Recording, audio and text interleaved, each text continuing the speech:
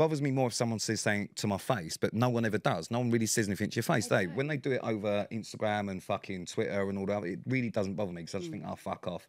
You, it really riles you. Yeah. And then Sam, what Sam does is then he calls me, and goes, I'm gonna have to say something. My mum is really good at proofreading, so she used to proofread all of my work when I was a kid. Please tell me your mum Sometimes proofreads your tweets. I sent her a tweet. This was like Fuck off, you slimy years ago, bitch. where- where- yeah, Have I yeah. spelled slimy right, mum?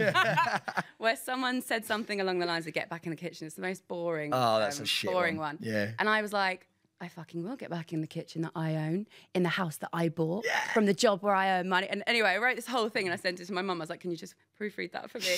And there was a typo in it. We need a like, semicolon in there somewhere. Yeah, exactly. She's like, That needs a comma.